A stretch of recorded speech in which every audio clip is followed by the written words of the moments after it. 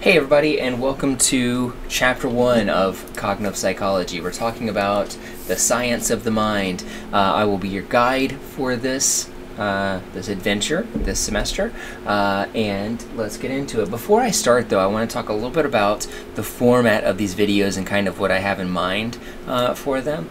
So. Um, these are mostly the same slides that I use in my in-person class, and the reason why I do that is because I really want to try to make our online class be as much as like what you would get if you were taking the class in person. Like I don't feel like you should have different learning outcomes or expectations just because you're taking it online. So I try to make it as engaging as I would, you know, uh, in a typical kind of lecture format. Now with that being said, this video is probably going to be, in each chapter is probably going to be close to an hour long.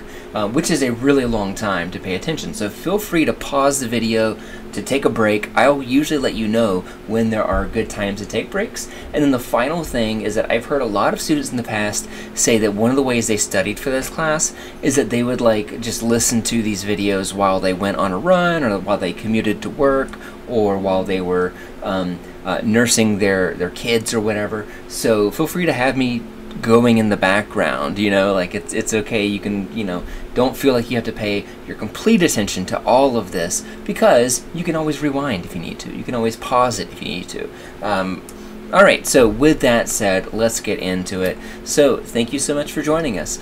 In this chapter, we're going to be talking about what cognitive psychology is, where it came from, and kind of what subjects we'll be studying uh, this semester, so how it is tested. Very exciting stuff. Uh, now, I love including videos in my in-person class, and I try to include these for you too, and so I'll be referencing these. Um, so, if you download the lecture slides, you'll see these links. If you click on them, it'll take you to a YouTube video uh, that kind of talks about uh, or, or, demonstrates a cognitive phenomenon that we'll be focusing on in this chapter. Now, for this chapter, uh, a lot of this, what we're going to be talking about is, is kind of concepts and history things that don't really lend themselves all that well to video. Uh, so I am using um, Derren Brown's Person Swap video. This is a very old video because this, this television program came out before YouTube was even around, I believe. Uh, so the video quality is a little crummy, but it's really fun and it's really interesting and kind of shows how you can use some of the tricks of cognitive psychology whenever you are um, trying to mess with people in public and trying to pull pranks on people. That's because that's essentially what this is. Uh, but it's kind of a fun demonstration of something called change blindness, which we will be talking about later this semester. So let's get into it. We're talking about cognitive psychology. Now, cognitive psychology is new, and I should put quotation marks around new because it's really not that new. It's depending on where you want to define it, is going to be in the 50s or 60s. Um, and the reason why I say depending on how you define it is because historiography is something that people argue about a lot, and it's a topic that a lot of people find very boring. I find it thrilling and really interesting, uh, and so that's why I have a senior capstone class called History and Systems of Psychology, and it's a really fun class, but it sounds really, really boring. Uh, so I'm going to try to dial back the history stuff because you you you enrolled in this class to take cognitive psychology, not take the history of cognitive psychology. But I do think it's important for us to kind of talk about where it came from. Um, and the reason for that is probably familiar to you because you're a psychologist in training, right? Uh, if you are a psych major, then you know one of the most important ways to kind of understand why somebody's doing something right now is to look at their past, right? Look at what their behavior like was like in the past. Look at what things influenced them, and that can tell us a lot about where things are now. So that's why I wanted to kind of focus on the history of cognitive psych, um, uh, so that we can kind of answer what is cognitive psych. Uh, so I'm not going to give you a definition of what cognitive psychology is just yet. I'm going to kind of lay the, the, the basis for where it came from first. Uh, so cognitive psychology is is this this branch of psychology. Uh, much like you know you have social psychology, you have behavioral psychology, you have industrial organizational psychology, you have developmental psychology, you have um, um, cognitive neuroscience. You may have heard that before. It's cognitive psychology plus neuroscience. But this is a field that is still pretty new, came around in the 50s and 60s, and that's compared to, if you think of most other sciences, physics, chemistry, math, or even branches of those fields like quantum physics or um, Newtonian physics or, or whatever. Uh, all of those basically predate um, uh, cognitive psychology. It's, this is all you know relatively new uh, in terms of sciences go. You know because psychology itself is still pretty new as well because we didn't really come around until the, the late half of the 19th century. Uh, so most fields of psychology, you're going to see a lot of these ideas that are kind of familiar. When we talk about things like memory or attention or language development or decision making, all of that stuff is cognitive psychology. It's usually just kind of packaged and kind of retooled under different branches. Um, so some of these ideas you may see, you may have seen in other classes already. Uh, now, before cognitive psychology came around, uh, behaviorism was the name of the game. Behaviorism was the predominant branch of uh, of psychology at the time. Before that, it would have probably been like psychoanalysis or something like that. That Freudian stuff that nobody likes these days. I shouldn't say that. People like that stuff these days, unfortunately. Uh, sorry, I don't mean to cast shade. um, but I record these a little bit later in the evening where um, I feel a little bit uh, less guarded and, and more willing to kind of speak my mind about things like Freud. Uh, so, early psychology, to give you a very quick crash course on this, in America, those two competing fields, those functionalism and those structuralism. Functionalism was essentially like um, being curious about why we do the things that we do, and structuralism was interested in how we do the things that we do. And functionalism ultimately won that debate. Uh, and functionalism uh, won that debate in part because structuralism really depended on something called introspection. Introspection was essentially like you ask somebody, um, if I'm interested in kind of how you visually perceive the world, asking you, what is it that you see whenever I show you this right here? What is it that you see? Okay, what shape do you see? What colors do you see? Now, whenever you saw this first, what came to mind first, the shape or the color? Those types of questions would be kind of a form of introspection, where I'm trying to understand what's going on in your mind by asking you these probing questions. But you can probably guess why that's not so good a method for research, because it's subjective. Because if I'm saying, you know, like, oh, I saw color first, well, how can I be sure of that? How do you know I'm not lying to you? How do you know that I'm even confident in my own answer. So scientists didn't really like introspection, and that's part of the reason why functionalism won out. Functionalism then became behaviorism. Um, and that really kind of started with John Watson. John Watson is a fascinating figure in psychology, um, and he is known for the baby Albert studies, if you're familiar with that from your developmental class or from your learning class. And basically, John Watson believed that any behavior that you couldn't directly see or measure were not really important in the systematic study of behavior. So if you can't see the behavior, then we shouldn't really focus too much about it. We should focus more, more on the explanations that come from things that we can directly see. Um, so and this is a very extreme kind of position that Watson had. Not everybody who is a behaviorist feels this way. Uh, but John Watson felt like there wasn't really any kind of use or utility in studying emotion or consciousness or awareness because you can't see awareness. You can't see consciousness oh, my eyes are open, does that mean that I'm conscious? I don't know. You've probably seen people that were sleeping with their eyes open, so you can't be sure that just because their eyes are open mean that they are conscious. So therefore, maybe we shouldn't study consciousness. Maybe if we want to be a science, we shouldn't be focusing on such abstract things that we can't directly see. Um, and behaviorism kind of followed that train of thought, where it became all about the behaviors that you can directly observe, what we call explicit behaviors. Um, so that was kind of the like I said, that was the name of the game from I don't know 1920s until the 1960s, let's say. Uh, so for a good 40 years, there was behavioral behaviorist uh, supremacy. Um, in kind of psychological thought. And and maybe it wasn't supremacy because you had a lot of psychoanalysis going on too with psychiatry um, at the time. So before I give you a definition of what cognitive psychology is, I want to kind of look at three critical events that kind of get us to where we are today. And these are going to be three big events that happened in the 50s and 60s. So let's get into it. The history of cognitive psych. Now is a great time to take a pause, go grab a drink, go grab a snack, settle back, and we'll run through these over, I'm going to say, the next 20 minutes. Alright, so pause it if you need to. Let's go. All right, so let's talk about the first point, which is um, growing growing dissatisfaction with behaviorism. I started laughing a little bit because when I said "let's go," I planned on actually shouting it and being loud. But I think that my wife is asleep in the next room, and I think she might get a little bit annoyed if, for the second time this week, she gets woken up because I just screamed "Let's go" uh, for no important reason. Uh, so let's talk about this first one: the growing dissatisfaction with behaviorism.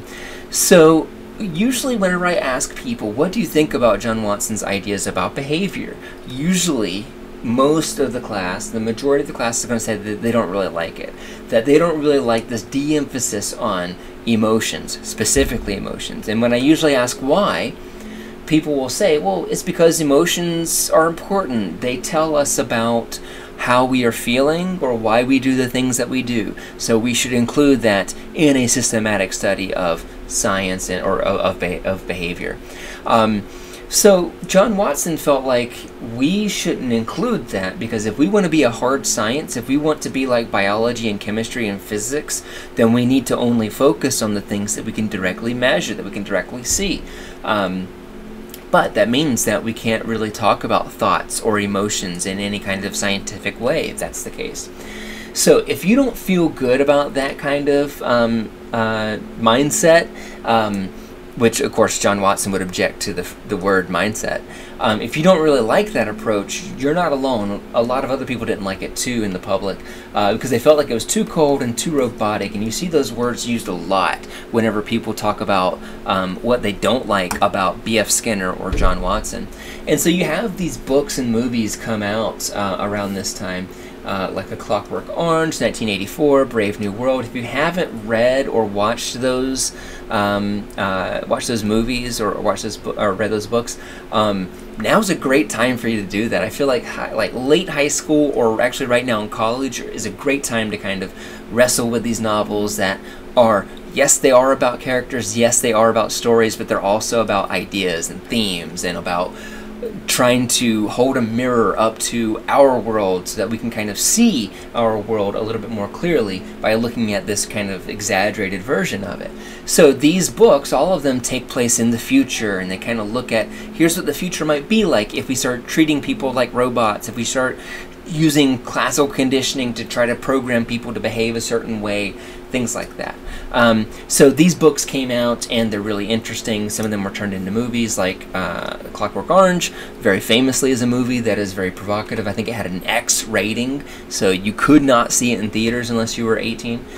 Uh, so, um, the public was starting to turn against behaviorism for, for these reasons. Uh, and I feel like that really kind of solidified with, uh, with B.F. Skinner ignoring the wrong critic. So, uh, and this is kind of, you know, like one of those stories that's kind of been hyped up and maybe was um, not as important as, as, as I'm going to make it sound, but I'm just trying to make it interesting for you.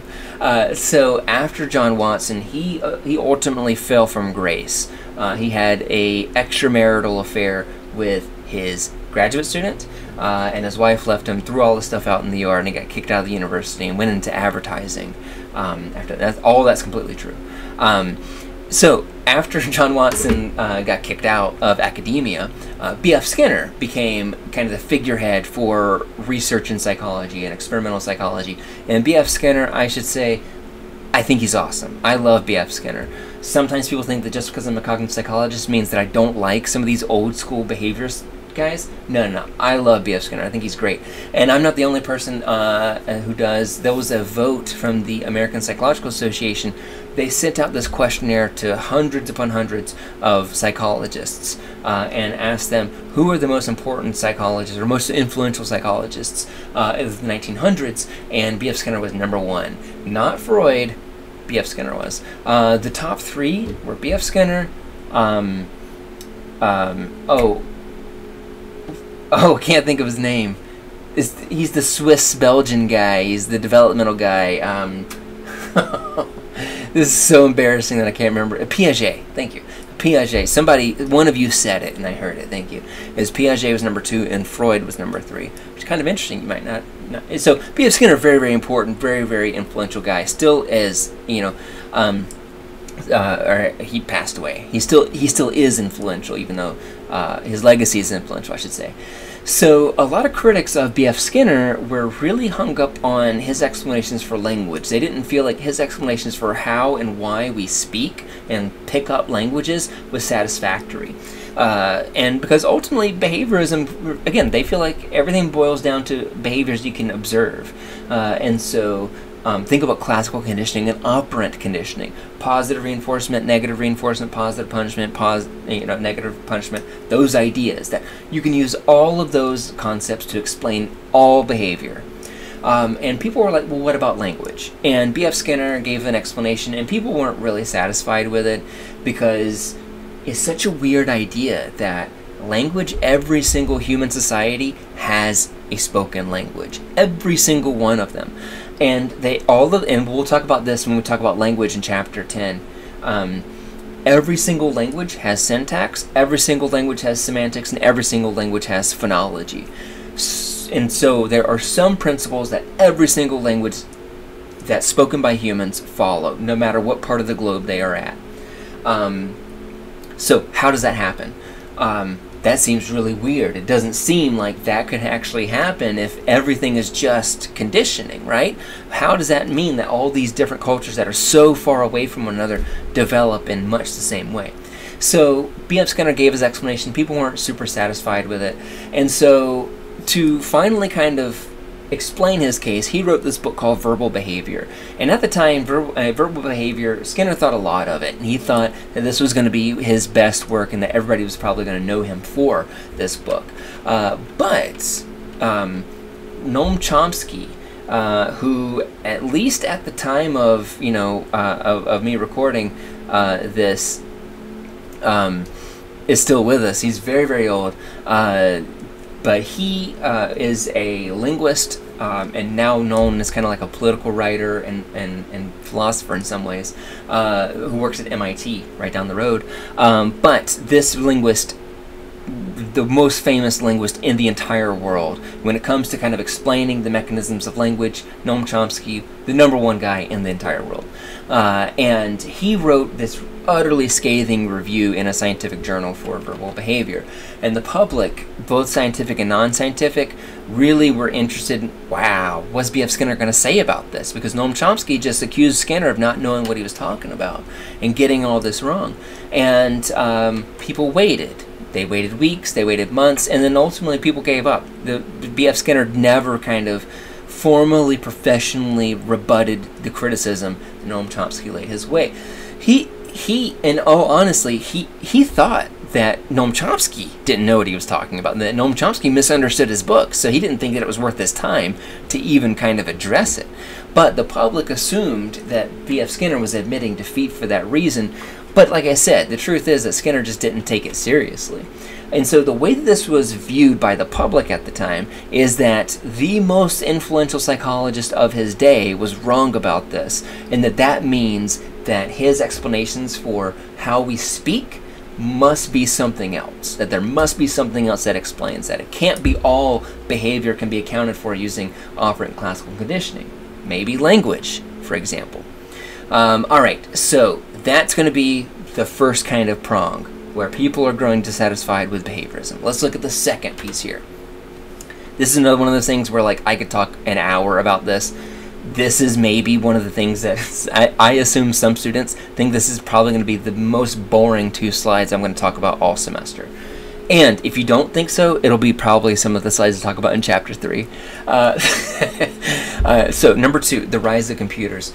Um, so when we talk about computers in cognitive psychology, they come up a lot. And the reason for that is because cognitive psychology really kind of conceptualizes the human brain or the human mind as functioning like a piece of technology and like a piece of computing hardware. That we have input, we have processing, and we have output. That we input all of our sensory experiences, we process those things using kind of our cognitive processes, our mental thoughts, and then we output. We do a behavior that, um, uh, that we act on um, uh, that. So input processing, uh, output. So before computers, what was going on? Before computers, John Stuart Mill, who was a very famous philosopher, um, you you may have even heard of because he's very influential in talking about democracy and, and things like that in, in the realms of philosophy. Um, and about how people and, and how all people were created equal. Uh, that this philosopher uh, simple uh, basically said, yeah, every single person who's born on Earth is born equally blank. That we don't really have any kind of personality. We don't really have any kind of biases. We're not racist whenever we are born. We're not prejudiced in any way when we are born. That all those kinds of personality traits or biases or prejudices or inclinations or talents, these are all things that kind of develop in in childhood or as we get older. Um, and uh, so basically, he's saying that it's experience that contributes who we are. That if you are a shy person, that you weren't born a shy baby, but that you were shy because of how you were treated whenever you were young, or lessons that you learned when, we were, when you were young. And so behaviorists really kind of adhere to this model, this idea of tabula rasa. What is tabula rasa? I keep saying this phrase, what's tabula rasa? Translates to blank slate, like a chalkboard, you know. And so the idea was that we're born blank, and then as we go on, you kind of fill in your blank slate with all these experiences uh, as you get older. Uh, and then, you know, as technology became different, people started looking at other kinds of metaphors to explain human behavior. And this new metaphor, as you might guess, is going to be computers. But this isn't something that's just true for psychology. Uh, there's something called information theory. And information theory is this notion that everything can be considered a binary response of a yes or a no. This is how computers work, right? You, you probably know, like computers, the internal language operates on zeros and ones, right? Um, and so we know that computers work because of information theory. Um, but other areas of psychology also, or sorry, of science also absorbed this this kind of information theory um, wave. Uh, this information revolution, really, that was coming in the 50s and 60s as computers were taking hold. If you talk about physics, if you talk about any kind of like, um, uh, if you talk about black holes, for example, when people talk about black holes, they talk about whether or not information can escape a black hole. And what they usually mean is can atoms, can electrons, can quarks, can they escape a black hole's gravitational pull? But they call it information.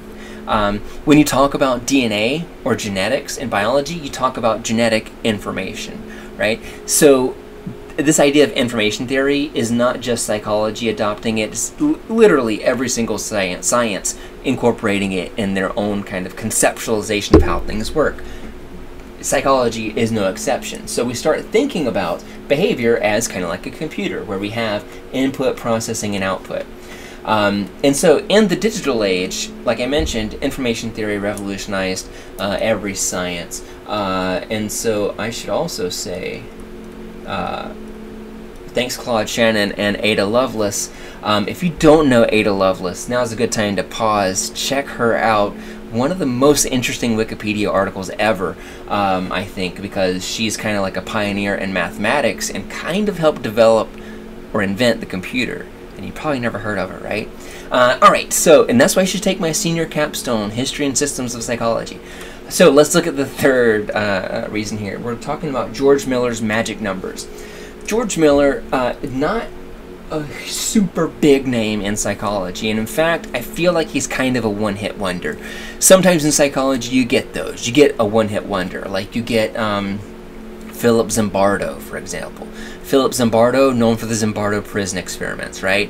One hit wonder. You know, like uh, another researcher might be, uh, ooh, um, von Restorff. Von Restorff was a German scientist. She developed this idea about memory, um, I think in the 70s or 80s, uh, and um, that was kind of like the only thing that she really published that got big. Um, trying to think of another one-hit wonder in psychology besides George Miller and Philip Zimbardo that you may know of.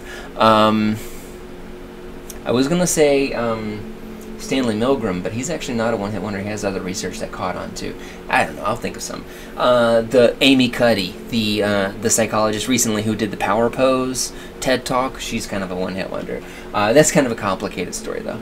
Uh, all right, so here's George Miller. Um, he gave this landmark address that was laterally published immediately, uh, and it goes like this. He started out in this conference, just starting his his lecture like this. My problem is that I've been persecuted by an integer for seven years. This number has followed me around, has intruded my most private data, has assaulted me from the pages of our most public journals. This number assumes a variety of disguises, being sometimes a little larger and sometimes a little smaller than usual, but never changing so much as to be unrecognizable. The persistence with which this number plagues me is far more than a random accident. There is, to quote a famous senator, a design behind it, some pattern governing its appearances. Either there really is something unusual about the number, or else I am suffering from delusions of persecution. Now imagine if I started our class like that, right? You would be like, hold up, I gotta get this on TikTok. Or, you know, like you would be like, I gotta record this, this is gonna be wild. Um, so, what is what in the world is George Miller talking about? George Miller is talking about uh, what he calls the magic number seven, plus or minus two. He's referring to our limits of short-term memory. Uh, so he asserted that memory has a very specific limit, and that limit is universal. That every single person has this limit of about seven objects that they can remember in their mind and that that number is 7, but sometimes it can be a little bit less. It can go down to 5, or it can be as high as 9, but that we can generally remember about 7 things. So if I asked you to remember a phone number, uh, and I gave you this right here, we kind of chunked them together. If you had to, you could remember 9, 1, 2, 3, 3, 4, 1, 2, 8, 0, right? But that's 10 numbers which is kind of beyond the 7 plus or minus 2. So what do we do? We actually remember not 10 numbers, but we remember usually 4 numbers. We remember 912, 334, 12, 80. So that way we only need to remember 4. And everybody can remember 4 things. Uh, so, um, that's kind of George Miller, his big assertion. The really, the, one of the things that I find most fascinating about this, um, and just try to give you context about why this article is important, is that George Miller presented some of this as like his own data, but he also looked at a lot of researchers that had published in recent years and said essentially like, yo, you thought that this was your explanation for why you were getting these results? Let me show you actually what your results were saying. Your, the reason why you got these results is because humans have a limitation to memory and it's seven items and you quiz them on 10 and that's why they couldn't remember it. It's not because of your explanation about how time works or whatever. It's because we just have a limitation. So imagine how gutsy that is to just stand up in front of an entire room of PhDs and say, hey, your data is bad and here's why. It's because my explanation is better than yours. Um, that sounds really toxic, right? Um, uh, just to pop back over to the other slide, um, I used to uh, require this as reading in this class, but it's just it's a little bit too long and a little bit too dry uh, for me to, to, to, to force you to read it. But if you're interested in this, I highly recommend it because it's an unconventional article. It's not typical APA format of intro, methods, results, and discussion. It's kind of interesting for that reason. So it's long and it's not super scientifically written because again, he, he kind of gave it as a lecture, but it is one of the most widely cited articles in all of psychology. It's been cited thousands of times. There are thousands of papers out there that point to this specific article. Uh, all right, so um, why was this important in kind of us talking about where cognitive psychology came from? Because behaviorists really don't like to talk too much about these kind of internal limitations for things like memory. And the reason why is because it resides in what's called a black box. And a black box is a philosophical problem that is really hard to resolve. It's essentially this idea that we can't really see into our mind and what's going on in there. And so for that reason, we should treat every kind of explanation of what's going on in there with suspicion.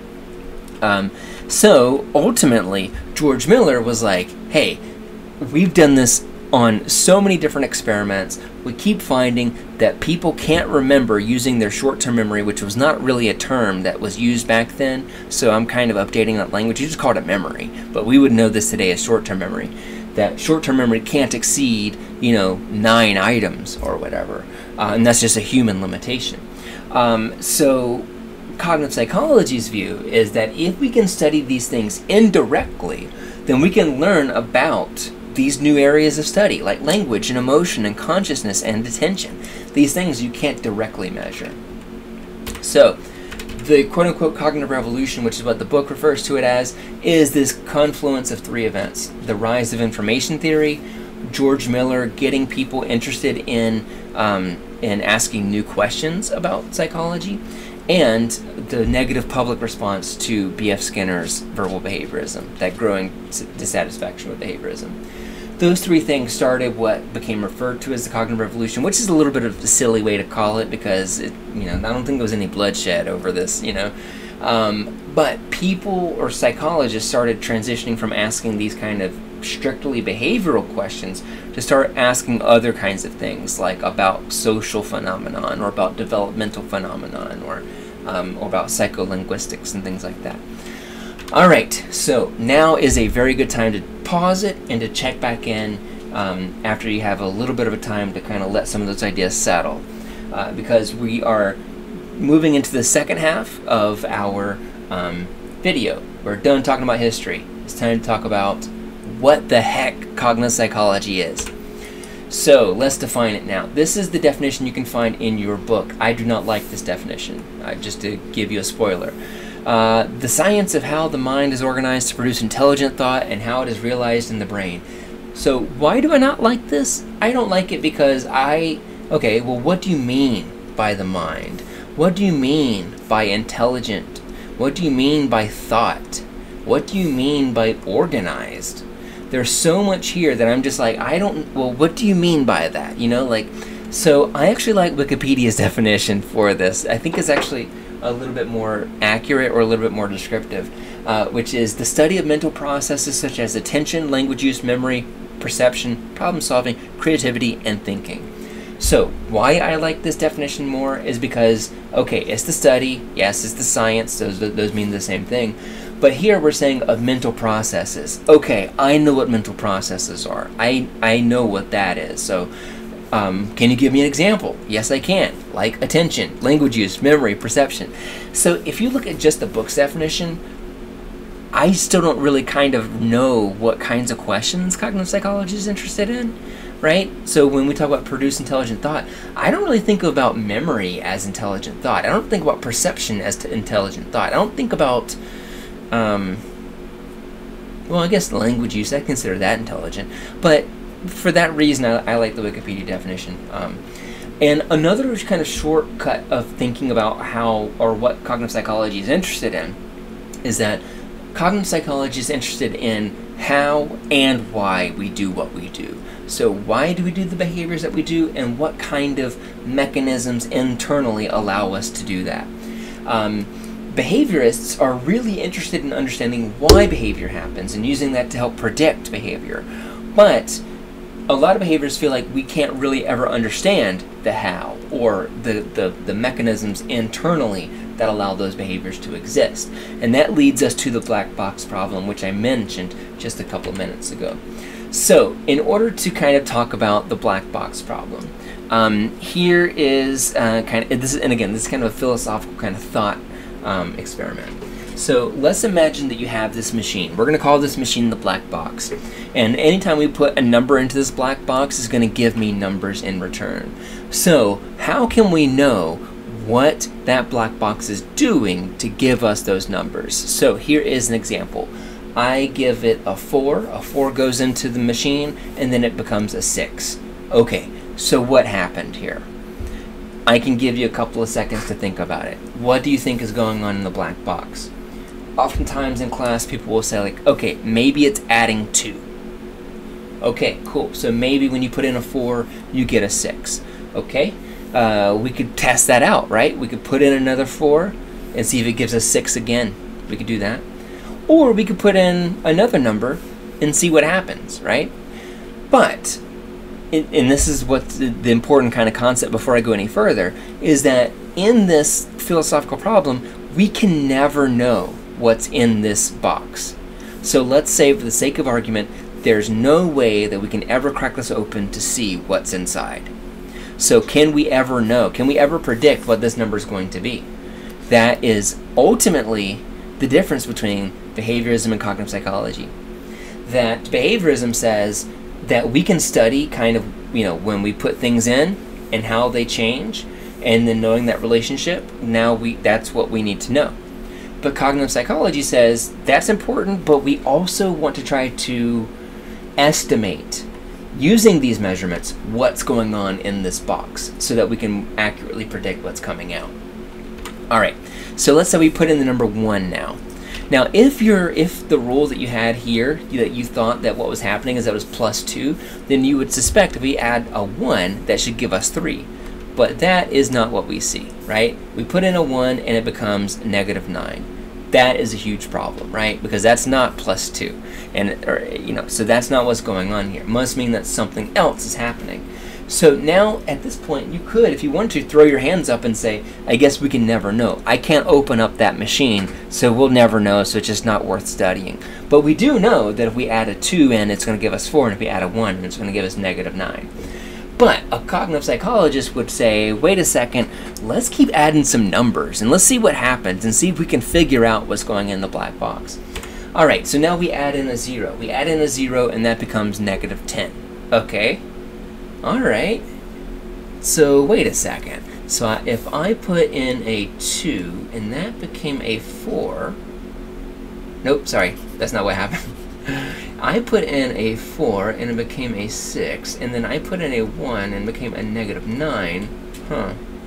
And then if I put in a 0, and that became a negative 10. Huh. Can we use that to figure out what's going on here? You can. If you take time, you could probably use some algebra to do something like that, you know, to, to, to figure this out. Um, but I'm going to be a little stinker here. I'm going to turn this sign to negative 4. So let's see what happens now. I'm going to throw in negative 4, put this in, and now it gives me 6. Not negative 6, but 6. That's going to help me out what I can figure out, what kind of I can deduce by looking at all of these iterations that we've tried, is that probably what's going on here is negative, or sorry, is that number multiplied by that number minus 10. So if it is 1, it's 1 times 1 minus 10, which is going to be negative 9, which is what we got. If it's 0, it's 0 times 0 minus 10 equals negative 10, which is what we got. And if it's positive 4, it's positive 4 times 4, which is equal to uh, uh, 16 minus 10, which is going to be 6. Uh, so that, and again, if we do that with negative 4, we get 6 as well, because two negatives make a positive.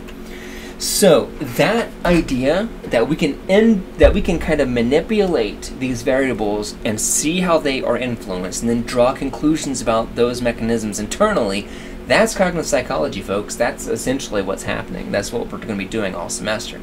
Uh, so we do this anytime we're doing any kind of neuroimaging. So neuroscience whenever they are looking at the brain. And I should say that the re you know I just started like four separate thoughts. I need to go back and finish one. So to think about like um, in neuroscience. In neuroscience, whenever you're messing around with the brain, you can you can know what the brain is soaking in. You can know what it what inputs it has coming in, and you might know how what that person's behavior is like. But do you know what's going on in their brain? right? You can't really see it, right? Even if you have a if even if you have neuroimaging, it, you still can't really see what's happening at any given mic any given millisecond. Like that stuff is so imprecise still even today that it's still not even close to kind of giving us an accurate representation of what's going on in the brain at any given time, um, which is a scary truth to kind of think about. Um, about how so much of what we know about neuroscience, about that we still know so little about the brain. But behaviorists see the brain as kind of like the ultimate black box. That that black box up there. We know that information comes in, we know that information comes out, but we can't directly see what's going on in the brain. And so for behaviorists, behaviorists don't really like to invoke the brain or the mind or consciousness in their explanations because they see that as being inside this black box that they can never open up and see directly. So this is um, uh, so behaviorists generally consider this kind of a deal breaker that this is unresolvable that it doesn't even really matter if we have te the technology to do it that just philosophically we can't see what's going on in the brain accurately and so we maybe shouldn't use explanations that involve the brain. We can rely more on explanations of conditioning for, uh, for us to do that instead.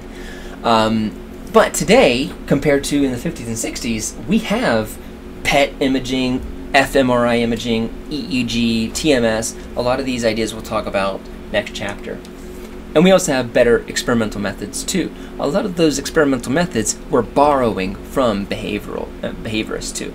So here is a quick example of a cognitive psychology task. Uh, how we can use these kind of how we can manipulate these variables and measure the results and draw conclusions about them. So this is a Sternberg search task. We're not going to talk too much about the Sternberg search task, uh, although if you were to go into graduate school in cognitive psych or experimental psych, you're probably going to talk about it. Uh, but basically the idea behind the Sternberg search task is that you're given um, an item uh, to name or to recognize, and, that, and then you see a bunch of different pictures and you respond yes or no. Did you see it or did you not see it? Very, very simple, right? One of the things that the book emphasizes is that a lot of the questions that are used in cognitive psychology are very, very easy. And that's one of the reasons why we don't really use accuracy all that much as a dependent variable, is because a lot of these things are easy to solve. But what we're interested in is how quickly can you solve them? Because understanding how long it takes for somebody to solve something might tell you if it is a hard thing to solve or an easy thing to solve, if it requires a lot of mental processing or not very much mental processing. So here's a very quick example of that, and I'll give you some iterations of this example. So this is an example of a Sternberg search task. It's actually from a 2018 article. Uh, I don't remember the name. Uh, I can't remember the exact name. It starts with an M. If you follow this link right here, it'll take you to the article where you can read it for free. Um, so I'm trying to cite my sources. Uh, so what you're looking at here is uh, search time. So how long it took someone to search a grid and say yes or no about a target they were looking for. Let's say that the target was the number six. So if you are adding distractors, other items in this grid, that share features like the number 6, such as the number 9 or the number 8 or something like that, things that kind of look like the number 6, maybe a G. Um, that what happens is that as you increase the number of distractors on that screen, it takes them longer and longer and longer to say yes or no. If you give them if the six has a unique feature. So let's say that you have a six, and all the other distractors are triangles like this that have no curves, and you have this one target that you're looking for has a unique feature, which is that it has a curve. Um, it's going to pop out to you, right? Uh, and that's what we see here. That it doesn't matter that for those that shared unique features, it doesn't matter how many items you have on the screen. It could be 10, it could be 20, it could be 30. It doesn't really change how quickly people say yes or no they saw that, that number 6. So, using this, we can actually kind of make some inferences about how the mind works, right? What this means is that if we're searching for something that has that has a unique feature compared to the surrounding distractors that we're really really good at tuning out and not paying attention to any of those distractors and just kind of focusing on a feature that quote unquote pops out at us if we have a lot of features that are similar that share features like those 8s and those g's and those 9s um, that we have to that because it doesn't pop out at us, we have to kind of look at each of these distractors now, or we have to at least process them. And that causes us longer times before we can say yes or no. So this is, and, and that tells us about how the mind works. That tells us about how visual search works um, by just looking at this data, where we're looking at the input, which is the number of distractors, and we're looking at the output, how quickly it took for us to say yes or no. So what we're doing here is we are systematically manipulating the independent variables, which would be the number of distractors, and we're measuring how much of a change there was in our dependent variables, which you can see here on the y-axis, um, which is that. By the way, very, very quick heads up on if you need a shortcut to remember the independent variable versus the dependent variable, almost always, not always, but almost always, the independent variable is going to be the x-axis and the y uh, y-axis is going to be the dependent variable. And oftentimes if you see multiple lines, those different lines are also in, uh, an independent variable that has different levels. So here, the independent variable are the kinds of features. The kinds of features and the number of distractors are the two different independent variables in this study. Just as a quick heads up, because we're talking a lot about research and trying to interpret graphs like this, it can be helpful to think about that. So here is a kind of an example. I want you to try to get a feel for how this thing is, is studied in the real world now, or in the laboratory, I should say. All you have to say is yes or no if you see this red number six. If this were real, like a cognitive test, what we would do is I would be measuring your accuracy and your reaction time, usually using a keyboard, because I want to, you know, I don't even want you to say yes, I just want you to hit a key so that it can be as fast as possible. But, and again, you don't have to say yes or no because you're probably in a private place and don't want to be a total weirdo by talking out loud. But I invite you to talk out loud if it makes this more fun. Uh, all right, so the answer is no, right? We do not see the number 6 here. I'm going to increase the number of distractors as we go. So here we go. Okay, now you probably immediately said yes, right? Again, you probably immediately said yes. Probably immediately said no. No. No. Yes. Yes. No. Okay, that was super easy. And that is actually essentially what this is, what this study is. And so, why is it that you were very quickly able to say no? Because you didn't see that unique feature. You didn't see that red six, right? So, um, all right. So that's an example of the Sternberg search task. To give you another example, more modern example, do you see this wary emoji and the following emojis? So again, you would say yes or no. This would be a no. This would be a yes.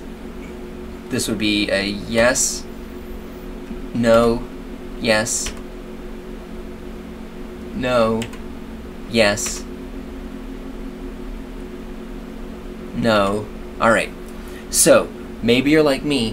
Whenever, whenever you were doing this, if you saw a lot of emojis, it took me a couple of seconds longer to kind of scan through it just to make sure it wasn't there, right? So that's an example of how whenever things share these features, that the number of distractors, as it increases, that so does uh, how long it takes for us to find it. All right, so we're kind of we're getting close to the end here. Oh, actually, we are at the end. awesome, uh, and this is actually great timing because my dog just showed up. I'm going to introduce you to my dog in a second, but I want to shout out a couple of videos. These are going to come up uh, in chapter two. These videos I sometimes show to my in-person class, but not all of them. But I do think they're really, really interesting, especially these first two. They are going to talk about transcranial magnetic stimulation, which was a really kind of cutting edge, um, interesting research device, which temporarily deactivates the brain. That sounds weird, right?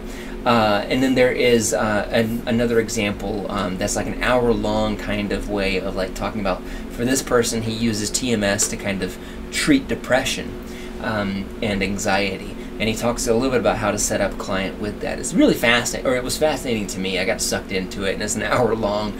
I, I could have watched something, I don't know, like a good TV show, you know. Instead, I watched this YouTube video. Uh, anyways, um, thanks for tuning in. I'm going to introduce you to uh, my youngest dog, whose name is Hopper. Um, he will probably cause mischief at the end of these videos, but we're done early, right? It said it was going to take an hour, and it was before that. So let me show you Hopper. Come on, sit up. Oh, where are you going? Oh, he's going under the table. He's going under the desk. All right. All right. He is. I think he's he's he still looks like a puppy, but he's mostly done growing. Uh, you can see he doesn't really like this too much. I think he's kind of uncomfortable, but he's so good and so so chill usually that he'll tolerate it. Um, he really likes tummy rubs. He likes to play a lot because he's still very young. He is a um, he's a mama's boy, um, and uh, he. What else do you want to know about him? He, he what breed is he? We did a DNA test because he's a mutt. We just adopted him, um, but he's like mostly German Shepherd and Chow Chow, which is a really kind of interesting mix. Anyways, um, throughout the semester, I'll introduce you to other dogs, to whoever shows up. Maybe maybe my wife will show up and I'll introduce you to her too. Uh, all right, thank you so much. I will see you later. Thank you for tuning in, and email me if you have any questions. Bye bye.